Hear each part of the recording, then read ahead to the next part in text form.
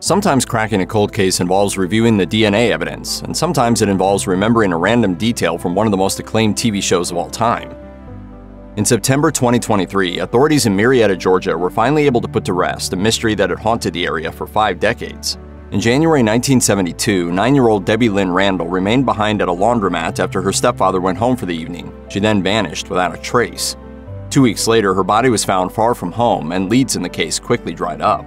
Fortunately, the Marietta Police Department had done an exemplary job of obtaining and preserving evidence collected from the scene. This helped them identify the killer as William Rose, who was 24 at the time of the crime and died by suicide in 1974. Familial DNA was used to pinpoint him with cooperation from his family. Cold case investigator Morris Nix offered a postscript to the case by noting, Technology does not get old, it doesn't retire, it doesn't get sick, and it doesn't quit. Technology was seeking William Rose, and it found him in the grave. In 1981, 23 year old hairdressing student Laura Kempton was found killed in her Portsmouth, New Hampshire apartment. At the time, DNA evidence was collected from the scene, but it was only able to determine that the perpetrator was a man. But thanks to the tireless efforts of law enforcement and a meticulous reevaluation of the evidence using modern genetic technology, the decades old DNA profile finally identified the killer as Ronnie James Lee. He was an Army veteran who served prison time in the late 80s for burglary and sexual assault. He died of a drug overdose in 2005. Kempton's surviving family issued a statement praising investigators that said, Their diligence and determination, along with extraordinary personal commitment over the past decades, have led to this moment for Laura. In 1975, 16 year old Quebec resident Sharron Prior was abducted and killed. Her body was then found in a wooded area in the town of Longueuil. Investigators had little more than a witness description of a suspect to go on. Over nearly five decades, they looked into more than 100 potential suspects. Finally, in 2022, they happened upon Franklin Romine, a man with a long history of criminal activity who was known to elude authorities by constantly moving between Canada and West Virginia. When investigators uncovered a link between DNA collected in 1975 and a family who had long lived in West Virginia, they were able to establish cause to exhume the body of Romine, who had died in 1982. An examination of the collected DNA then confirmed that he was indeed responsible for Prior's murder. Knowing that her killer is no longer on this earth, and cannot kill anymore brings us to somewhat of a closure. The murder of 24 year old Rita Curran was every parent's worst nightmare. On her own for the first time while living in an apartment in Burlington, Vermont, she was sexually assaulted and strangled by an unknown assailant one night in 1971. Police were able to lift DNA evidence from the crime scene, the most viable of which came from a cigarette butt found next to Curran's body, but it never returned any matches from the National DNA Database once it became active in 1998 nor did it match any of the roughly dozen suspects in the investigation. Curran's murder eventually became the Burlington PD's oldest unsolved case. Then, in 2022, a crack team of detectives was assigned to the case to take a fresh look at the evidence through the lens of modern technology. Using newly extracted DNA and the wider scope of public ancestry records, they were able to pinpoint William DeRoos, a neighbor who lived two floors above Curran, as the killer. He died in 1986. DeRoos's then wife Michelle, who now goes by a different name, confirmed that they'd had a fight on the night of the murder and that her husband had gone out for some time afterward. DeRoos's second wife, Sarah Hepting, asserted in an interview with police that he strangled her on one occasion, an eerie shadow of Curran's death. It took multiple generations of Boone County, Kentucky homicide investigators to finally bring to a close the case of Carol Sue Klaber, who was sexually assaulted and killed in 1976. Detective Jerry Keith had obsessively compiled information on the case, even keeping the file at his home. While the suspects he'd focused on didn't pan out, his colleague Coit Cox nevertheless credits him with helping bring the case to its eventual closure. The killer was eventually identified as Thomas Dunaway, who was only 19 at the time. Investigators zeroed in on him after securing a match with familial DNA. In the years since Klaber's death, Dunaway enlisted in the Army, but soon after he was arrested for possessing an illegal firearm. He also killed someone else and eventually spent seven years in prison. Dunaway died in 1990, making the finding a bittersweet one for Klaber's brother Thomas. He told the New York Times that he was at least comforted by the knowledge that there had been no need to exhume her remains to resolve the crime. If Mr. Dunaway were alive, we would present this case to the grand jury seeking a charge of murder against Mr. Dunaway for the murder of Carol Sue Klaber. In the sleepy coastal town of Seaside, California in 1991, 34 year old mother of three, Vicki Johnson, met a terrible end at the hands of a mysterious perpetrator. She was strangled and smothered, and her body was set on fire in what may have been an attempt to destroy physical evidence. However, investigators were able to obtain DNA from under her fingernails. That was the only lead in a crime that offered no witnesses or other physical evidence of any kind. The case was eventually revived by a cold case task force in 2021. Unfortunately, the gears of justice turned just a bit too slowly in this case. The DNA led police to Frank McClure, an ex convict who hadn't been a suspect in the investigation at any time and had no apparent ties to the victim. 46 years old at the time of Johnson's death, McClure carried the secret of what he'd done for three full decades before dying in 2021 at the age of 77, just two years before he was identified as the killer. It's just so unfortunate that something like this would happen. In 1987, 23 year old Catherine Sposito was hiking a trail near Prescott, Arizona on what should have been a normal sunny day. Instead, it unexpectedly became the stuff of nightmares in the last moments of Sposito's life. Out of nowhere, an attacker set upon her, striking her with a rock and a wrench, shooting her through one eye and stabbing her in the head. Nearby hikers heard her screaming for help, but in the seconds it took for them to reach her, she was already dead and her attacker was gone. With no witnesses, the case went cold. But in 2017, investigators used DNA to link a different attack on the same trail to a surprising suspect. Brian Bennett was a high school junior at the time of the killing, and in 1994 he died by suicide. He was connected to several other violent crimes, including sexual assault and kidnapping. After exhuming his remains, investigators definitively concluded that DNA retrieved from the wrench used in Sposito's murder was a match for Bennett. The 1979 murder of Vickie Lynn Belk puzzled investigators for decades despite careful processing of the crime scene for evidence.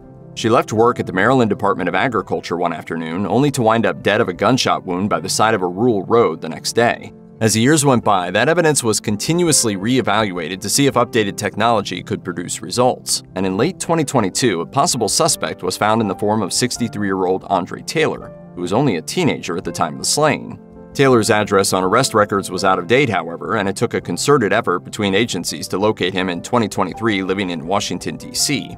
Taylor had been involved in multiple violent crimes in the intervening years, but the random nature of Belk's death had kept him off the radar of this investigation. Thanks to the DNA evidence, Taylor was finally arrested for murder and sexual assault in June 2023. In a statement, Belk's surviving family members said, We are grateful for the tireless efforts of the Charles County Sheriff's Office detectives and the forensics personnel who never ceased seeking justice on Vickie's behalf. As horrific as Vickie's death was, we've chosen to focus on how she lived. In 1974, Massachusetts resident Ruth Marie Terry departed for a trip to Tennessee with her new husband, Guy Muldavin. The plan was to visit Terry's family, but they didn't see her on that trip, and in fact, they never saw her again.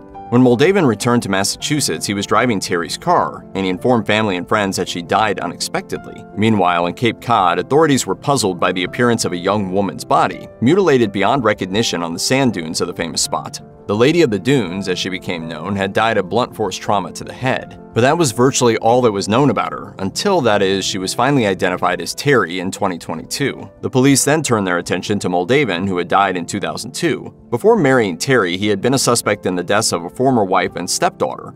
In light of a re examination of all the available evidence, authorities announced in August 2023 that they were confident that Muldavin was responsible for his wife's murder. This conclusion brought to a close the investigation into the oldest unidentified murder victim in Massachusetts history.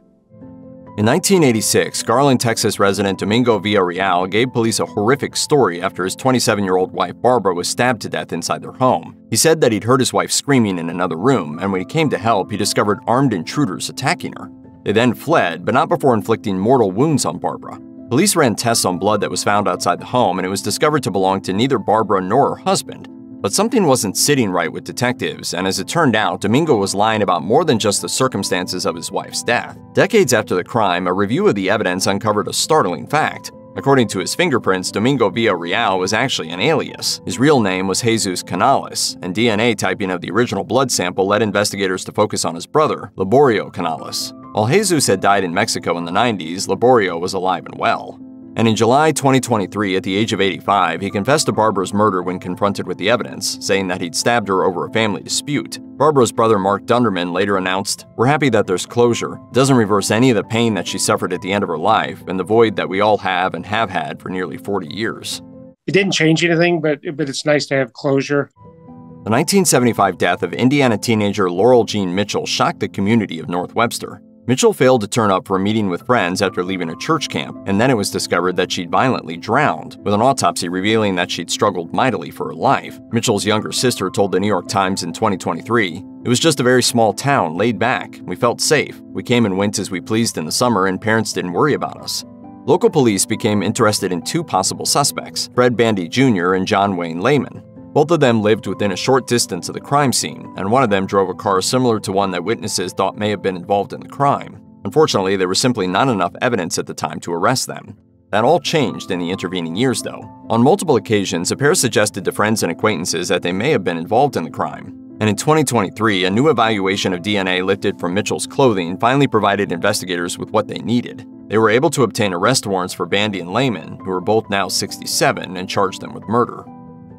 Pamela Lynn Conyers was only 16 years old in 1970 when she was going to the mall to buy shoe polish for a school dance. But then she happened upon the predator who would take her life. She was strangled and asphyxiated, and her body was dumped near a highway that was under construction. Her death stunned close knit Anne Arundel County, Maryland.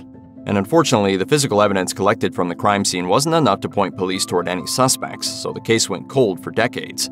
But eventually, thanks to the steady advances in DNA technology, authorities were able to use a publicly available commercial database and investigative genealogy to pin the crime on Forrest Williams.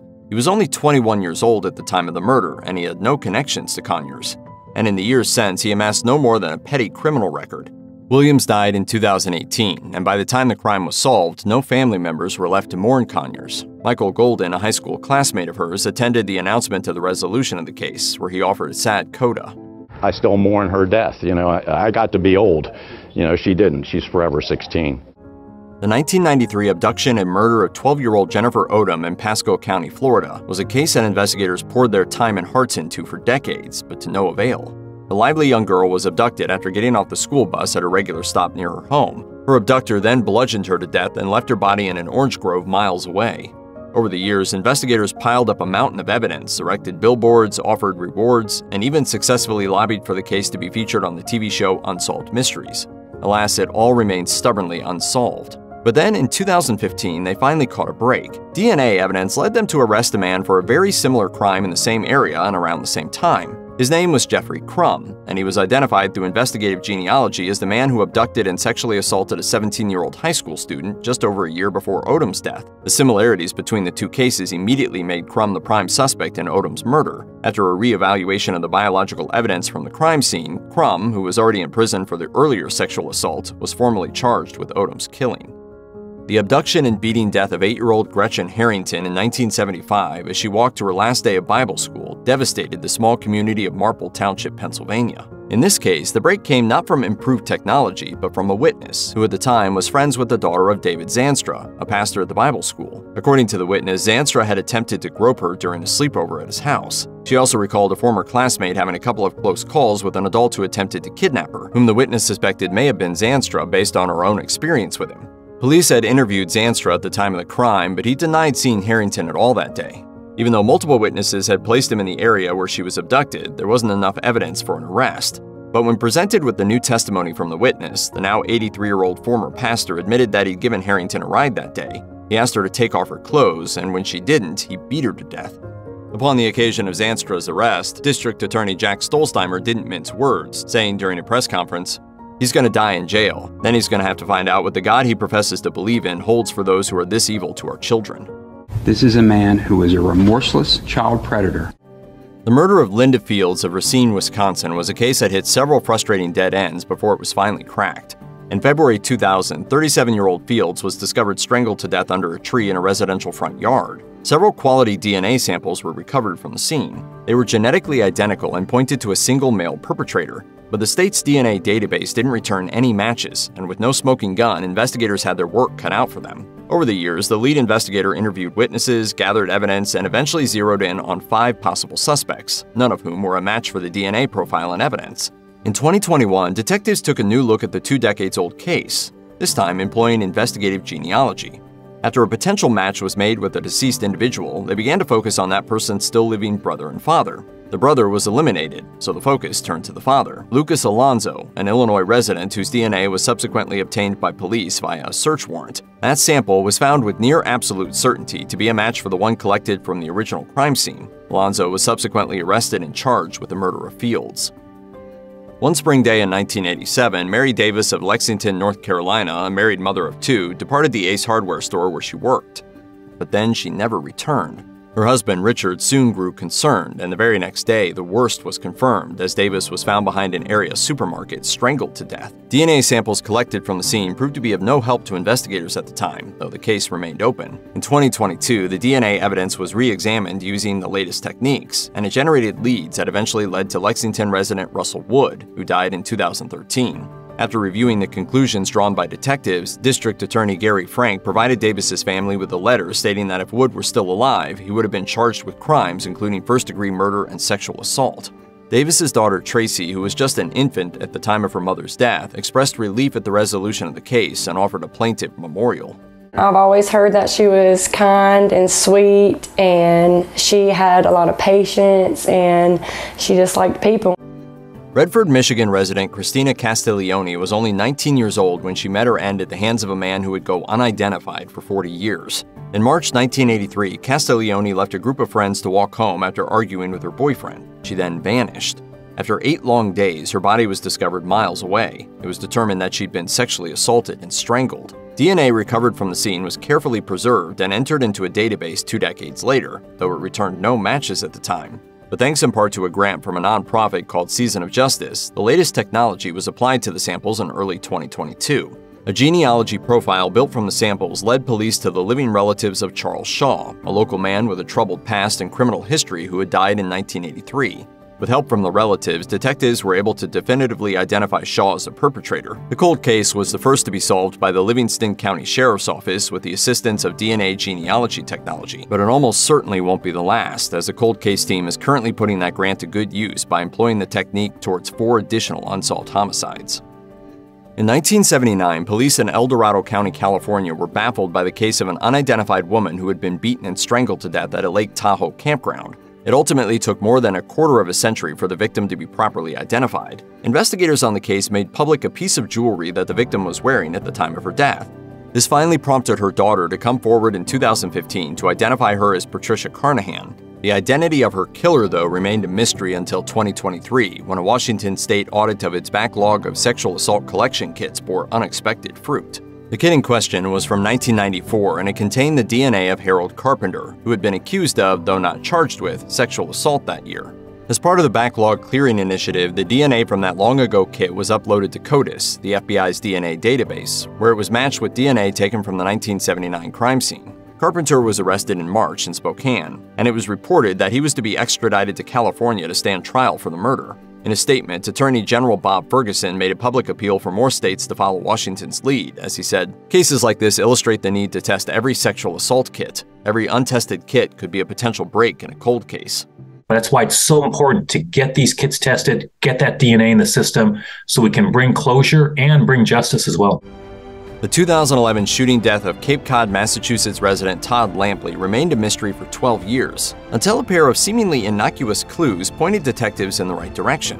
Lampley was shot inside his bedroom, and police recovered a phone from the crime scene. Unfortunately, it yielded no physical or forensic evidence. It was registered in the name of Marlo Stanfield, which was also the name of a character from the classic HBO series The Wire, it took detectives some time to put this together, but once they did, the fact that a mutilated sweet potato was also found at the scene took on new significance. Investigators were never able to recover any DNA from the scene, but there was an episode of The Wire in which potatoes were used as silencers.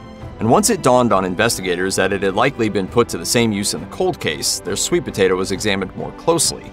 It yielded DNA that matched DeVaris Hampton, who had previously accused Lampley of being involved in the shooting death of an acquaintance in 2007 crime for which Lampley was never charged. An examination of records from an ankle monitor that Hampton had been wearing at the time of Lampley's murder placed him at the crime scene, thereby finally giving prosecutors a pretty ironclad case. When 59 year old New Jersey resident Carol Reiff failed to show up for a family trip in 2013, the last thing anyone suspected was that she was the victim of a violent crime. As her daughter Dawn Santani told CBS News Philadelphia, She was so kind and gentle and just just seems like such a weird fate for her.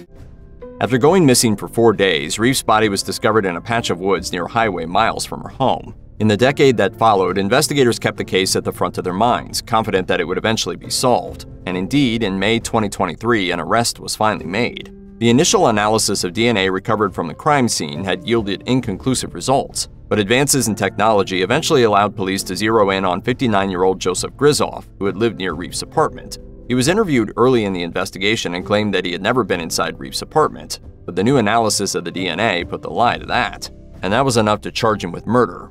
Police Chief David Harkins said in a statement, I'm very proud of the collaboration and teamwork of the detectives who have worked countless hours which led to this arrest today. If you or anyone you know may be the victim of domestic abuse, please contact the National Domestic Violence Hotline at 1 800 799 7233. You can also find more information, resources, and support at their website.